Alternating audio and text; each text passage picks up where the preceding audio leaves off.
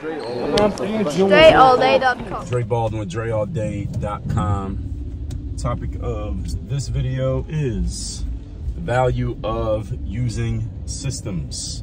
Systems. Now, this is something that I teach systems a lot inside of uh, Work on Your Game University. So if you are not a member yet, go to workonyourgameuniversity.com. The link's down below in the description to this video. But why systems matter so much? And I was just talking to an entrepreneur today about the value of systems for their business. But I want you to understand systems not just when it comes to business, by the way. You need to understand, excuse me, the value, value of systems even if you don't have a business, even if you work at a job right now, even if you are a student going to school, if you're an athlete playing a sport, if you're not doing anything right now, you're just trying to figure out your life, systems work. And let me tell you why and how uh, they work the way that they do reason what a system is. First of all let me get clear what a system is. And there's a, a definition of a system in the dictionary. I don't have dictionary in front of me right now because i've done whole episodes in my podcast about this concept of systems. What a system is is a simple process. If you want to give a different word for a system is a process. And what makes a this process so important is that it's duplicatable. Duplicatable process. A system is a duplicatable process. It's something that you could do over and over and over again, the same things the same way every time to get a similar result, a result that you can predict. You can expect a certain result and you get it over and over and over again. And let me tell you why this matters and why everybody who's listening to this right now should have systems in place for anything that you do in which you you're trying to get the same outcome every time. So for example, uh, when I'm recording this. I'm recording this in early April 2023. So in the middle of this month, I'm running a, a 10K race. And those y'all don't know, I used to play, my sport was basketball. Running is not my sport, but I like to run. Running is pretty simple uh, compared to basketball, but uh, I like to run in 10K uh, races. So I run, I've run marathons, I run 5Ks, I run half marathons. I've settled on like the 10K distances is like far enough that it's a challenge, but not so long that it takes too too much time to train. So I don't really like marathons anymore because I don't mind the actual act of the marathon, but the race itself takes too damn. I mean, the training itself takes too long, not the race itself. Race is only one day. But training for a marathon takes too damn long because you got to run like 10 miles every time, and that shit takes like an hour and a half. And I'm more focused on my business than I am on running. So 10K is easy. It takes like 40 minutes, 45 minutes. So anyway, I'm running a 10K race in a week, and I know that I'm going to come in top three in my group in this race. I know that I am. How do I know? Not because Necessarily the fastest. Well, I am pretty fast, but it's because I have a system. I have a system for getting myself in shape. And I know that when I get into a certain shape and when I get into races, I know that there's not too many people in my group and they just do it by age group. I know there's not enough people in my age group that are going to be faster than me that I'm not going to finish in the top three. I already know that. Only way I ain't coming in top, top three is if I stop in the middle of the race and I ain't stopping. And right now, as a matter of fact, I got a, um, had to not run as much as I wanted to getting ready for this race. I had a little hamstring issue, so I took like two weeks off. I let my hamstring rest so I could be 100% for this race, even if I'm not gonna be 100% conditioning. As long as I'm 100% in terms of health, I'm good. I know I'll still finish top three, even if I'm not my fastest. And I ran this race last year. I came in first place, so I already know this time even if I'm not as good as I was last year, I'll still come in the top three. I'm sharing all of that, not because I'm trying to explain to you about running. I'm explaining to you that I have a system for getting in shape. I know how much I need to run. I know how many days a week I need to run. I know what numbers I need to be hitting when I'm doing my uh, training and conditioning. I know, know how much stretching I need to do. I know how I'm going to use the foam roller after my runs. I know how to put ice on my legs and on my knees after I run. I know if I'm, you know, depending on where I live at the time, some buildings I live in, they got a jacuzzi that I get in. Sometimes I don't get in the jacuzzi, depending on what it is. I know that recovery process. I know the process for what I do in the days that I'm not running, as far as the working out and stuff. I know everything I need to do in the process to get myself, get myself in the game shape that I want to be in. When I was playing ball, for example, I had this thing I would call it the 90 day rule. So anytime I knew I was about to go to some kind of camp or tryout or like exposure event, or I was getting ready for the season, anytime one of these was coming up, I gave myself the 90 day rule. 90 day rule was the last 90 days before that tryout or camp or before the season started, I didn't want to be doing anything outside of my normal routine. So that last three months, that means I knew which days I was waking up. I'm going to the gym. I'm working out. I'm going to the basketball court working out. I'm going to the, the weightlifting gym working out. I'm doing my cardio. but I'm not doing anything to get out of my routine. Meaning, I'm not doing, um, I'm not going on any vacations. I'm not taking any days off for that last 90 days. As long as I followed that system, I was always at my best when I got to the season or the event or the camp or whatever it was. Now, if I didn't play well at that camp, then maybe just the players were just better than me. Maybe that I could accept that. As long as I was in shape and I followed my system, whatever happens, I'm good. Now, if I didn't follow my system and then I get there and I didn't play well, then I knew why. It's because I didn't follow my own system. And you need to have your system. When it comes to your business, making money, you absolutely need to have a system. So when you think about a company like McDonald's or Amazon, why are they so consistent with what they do? Even if you don't think McDonald's food is that good, or maybe you're not that much of a fan of Amazon, or maybe you are, the reason why both companies are very consistent is because they have systems. It's not because every single person who works there is this amazing worker or this genius uh, mind. It's because the system is so tight that anybody can work there and the system is still going to work because the system is more important than the person the system is more important than the person. And this applies to you the same way it applies to Amazon and McDonald's.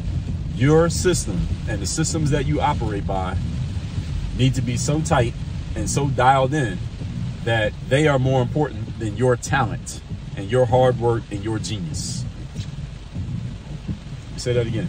Your systems need to be so on point and so dialed in and so consistent that they become more important than your talent, your hard work, and your genius, even if you're the one who made the system.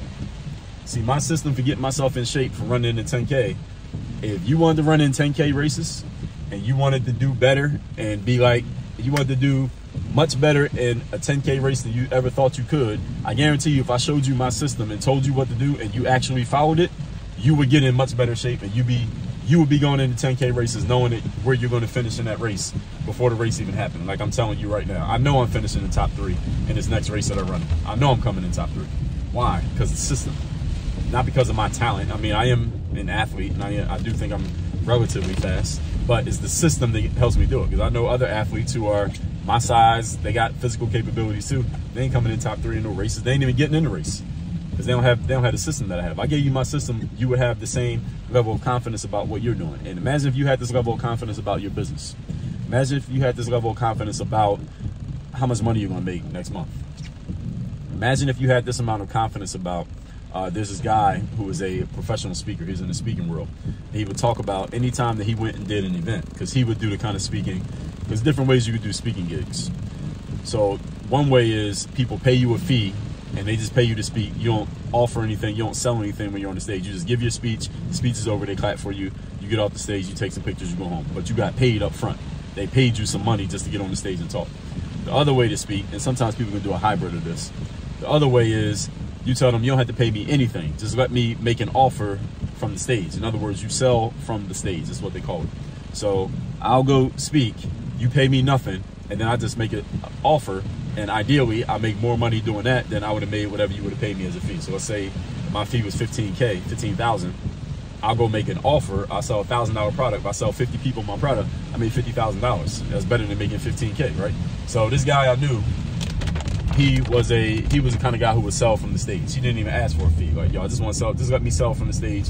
And then the event would get a percentage of whatever he sold. So whatever he sold, they got a percentage and he got to keep the rest. He said anytime that he went to speak, he would do a speaking gig. He knew by the number of people in the audience when he started talking how much money he was going to make because he knew how much his product was that he was selling and he knew what percentage of people always bought whatever it was that he was selling. So he knew exactly how much money he was going to make every time he stood every time he stepped on the stage, depending on how many people there were in the room. I'm telling you all that to say this. That's because he had a system. And he talked about it. He would talk about what his system was like because I had this system. I knew exactly what I was doing. And he would even say in his speech, he said, I knew my speech so cold that if you woke me up in the middle of the night and you said like five words in the middle of my speech, I could pick up right where you left off and just give my speech perfectly uh, word for word without messing up. Because he had a whole tight system for what he said, how he said it, when he said it, and he knew exactly how many people were going to buy based on the number of people in the audience because he knew exactly what his system was and what his process was for selling from stage. That's a system. You need to have that when it comes to any area of your life that is important to you. So you need to know what that is. What are the areas that are most important to you? Now, I'm not saying every single thing in your life you got to do by system, because if you do everything by system, then life could get boring, right? Then you feel like you're a robot. And some people are more, um, what's the word? They more lean to it, for lack of a better term. Some people are more leaning towards that robotic thing where they could be more systematic and do the same stuff all the time, every single day. I'm that type of person. The reason why I can talk about systems the way that I do is I'm that type of person where I can do the same stuff over and over and over and over again consistently every single day to where somebody else can look at that and say, man, that's boring. I don't want to do the same stuff every day. I want some variety. I'm not, I don't need that as much as most people do. Now, some of you might be the type that's more like me, and you might be a type that's a little bit different. You like that variety. You don't have to have a system for everything you do. You don't have to systematize your whole life. But, and some things you can't systematize. Like you got a child, you can't systematize a child. Right? Kids are random. You can't systematize what other people do. But you can systematize the stuff that you can control. And the things that matter most to you in life, this is important, you should have a system for all of those things. Why? Because the things that matter most to you in life, you want them to be consistent, right? You want to know what you're going to get, right? You want to know exactly how things are going to go, and you don't want surprises in those areas. The things that matter most to you in life, you don't want surprises. Now, you might like surprises in the stuff that it doesn't really matter how it goes. You might like a surprise for your birthday because your birthday is only once a year. That's random. Well, it's not random, but it's it's once it's few and far between. You only get one out of 365.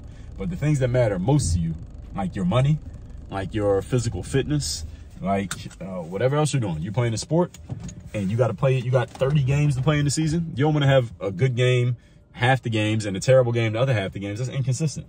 Nobody's going to pay you for that. You ain't going to become a pro athlete performing like that. So the areas that matter the most, you want to have systems for these things. And the system is simply a process that you know when you follow this process, you know within this range of error, basically, you know within this range, you're pretty much going to get something between this and this every single time. So think of somebody like uh, Michael Jordan, LeBron James, Kobe Bryant. When they were playing basketball, were there nights that they didn't really feel like playing? Were there nights they were tired, that they were injured, that their body was beat up, that they had a rough game the night before, that they didn't get a lot of sleep, that they had all some kind of stuff going on at home that you don't know nothing about? Of course, they all did. Every athlete does. But guess what? Every single night, you think of those guys that I just mentioned, every night when they played, almost every single time, 98% of the time, you knew you were getting somewhere between 25 and 35 points from those guys every single game. Now, did they always feel great? No. But did they always perform pretty much to that? Yes. And that's the reason why they became legends. It's not because of what they did in the big moments that everybody was watching. It's what they did every single night, even in the moments when most people would say, well, that quote unquote doesn't matter. They still performed. That's what made them great. And it's the same thing for you. You could take that same idea and apply it to what you do, even if you never played a sport, you never picked up a ball. That's why systems matter. So, and I guarantee you, Kobe, I mean, Kobe literally, at the end of Kobe's career, those of you who remember, it wasn't really the end. It was a few years before the end. But Kobe had a sneaker Nike put out. It was called the Kobe System. You remember that? The Kobe System sneaker? Because Kobe had a system. I guarantee you Kobe came up with, I guarantee you Kobe had some input on that title. All right, the Kobe System. It was literally a system. LeBron James has a system for getting in shape and staying in shape and getting ready for the games and keeping his body in the shape that he's in. I don't know LeBron James. I never heard LeBron say that, but I guarantee you he has a system. Guaranteed. There's no way somebody could be that consistent for that long without a system. Michael Jordan, guaranteed he had a system. And you can think of other athletes that are high performers in their sport. Tiger Woods, in his day, nowadays he his body's beat up, but guarantee you, even today, he still has a system. His body's just beat up. He just can't do it the same way he used to. But when he was doing his thing, there was a system. Yes, he was talented, but there's a system to harness that talent. Serena Williams, Venus Williams, they had systems. Uh, Pete Sampras, uh, what's the dude? Uh, Djokovic in tennis, and what's the other dude in tennis right now? I can't remember the other guy's name. But they all got systems. They all anybody who's a high performer who is consistent in what they do, even if they're not famous, there is a system. So you, if you want to be a high level performer and be consistent in what you do, you need a system for what you're doing so that you can do it all the time with very little variance between performances. That's the definition of consistency, and consistency is a result of a system. And discipline is a result of the system and consistency. So with all that said, text me. You want to work with me directly? If you want to get my daily motivation text straight to your phone every single day for free, Text me right now. Here's my number 305 384 6894. That'll get you my daily motivation message straight to your phone every day for free. And if you want to work with me direct, even if you don't want to work with me, text me. But if you want to work with me directly, the other thing you're going to do is go to workonyourgameuniversity.com. That link is down below in the description to this video.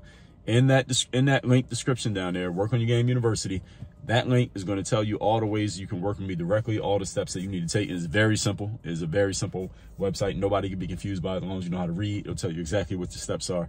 That's work on your game workonyourgameuniversity.com. Work on your game. Dre all day.